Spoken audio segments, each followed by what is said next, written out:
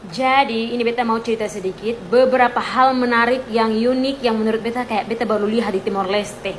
Ini beta akan ceritakan sedikit hal-hal menarik selama beta di Timor Leste. Beta yang merasa pun diri itu kayak Katolik yang cuman KTP dalam hal ini kayak hanya mengikuti aturan kayak hari Minggu harus pergi gereja kayak betul-betul hanya kayak mengikuti aturan gereja dan tidak terlalu menurut beta beta tidak terlalu katolik banget setelah beta ke Timor Leste akhirnya beta tuh kayak memperkuat beta iman. Kayak memang benar-benar Timor Leste beta kasih julukan sebagai negara dengan seribu gereja. Kayaknya bukan seribu gereja katolik tapi sepuluh ribu gereja katolik. Yang pertama dari beta masuk dari ujung barat dari Mota Ain itu beta sudah mulai lihat gereja katolik benar-benar banyak gereja katolik dan di sepanjang jalan pasti beta akan ketemu patung-patung, patung Santo, Santa Pelindung, patung Tuhan Yesus, bahkan patung Bunda Maria ada di sepanjang jalan di Timor Leste.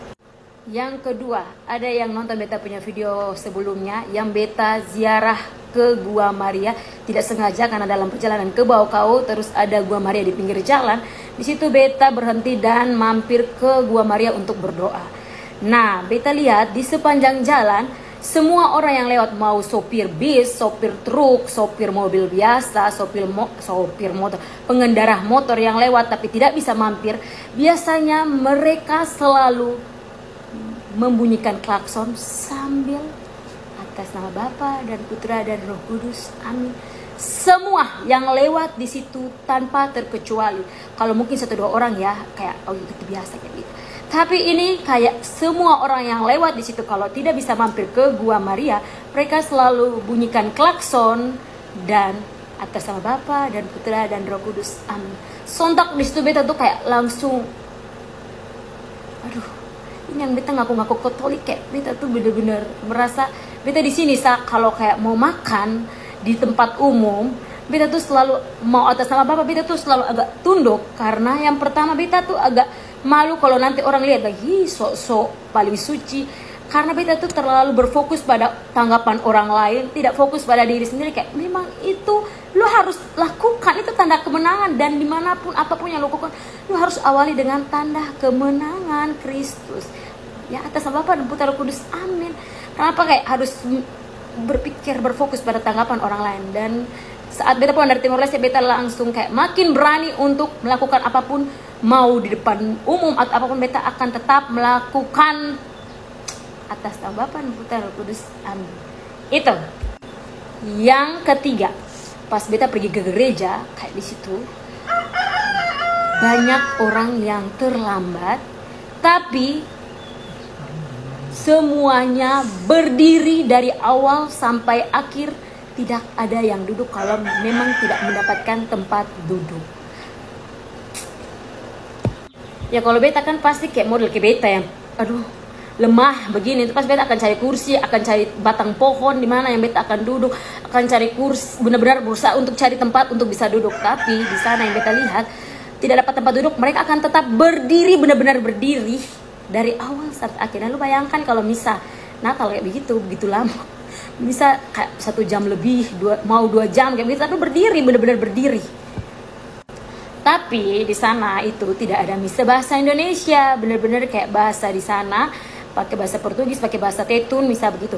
Tapi kalau mau misa bahasa Indonesia ada, cuman ada di satu gereja saja dan itu di minggu biasa. Kalau kayak hari-hari hari raya besar itu tidak ada misa menggunakan bahasa Indonesia. Jadi beta anjurkan untuk sesama yang kayak ke beta yang lemah imannya, pokoknya yang son jelas dia pun iman Katolik, lu pi Timor Leste sayang. Lu pulang dari Timor Leste, lu akan langsung masuk biara, entah itu biara apa pun.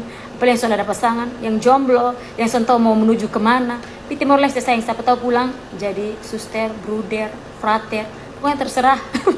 Oke semuanya terima kasih, sampai jumpa. Nanti beta akan bahas lagi apa saja yang beta lihat di sana dia cerita pengalaman dari kakak Nona ya dari Kupang ya kalau dari motif pakaiannya sepertinya dari Keva atau Malaka ya? Oke. Kupang NTT Nusa Tenggara timur Indonesia ya teman-teman. Oke. Itulah kehidupan beragama di Timor Leste kadang di dalam bemo juga ada yang atas nama Bapak mau mandi mau makan di umumnya tempat-tempat umumnya mau mandi di lap pantai atau mau jalan pasti orang atas nama Bapak. Itu sudah menjadi kebiasaan yang turun temurun ya. Sudah diajarkan dari kecil. Jadi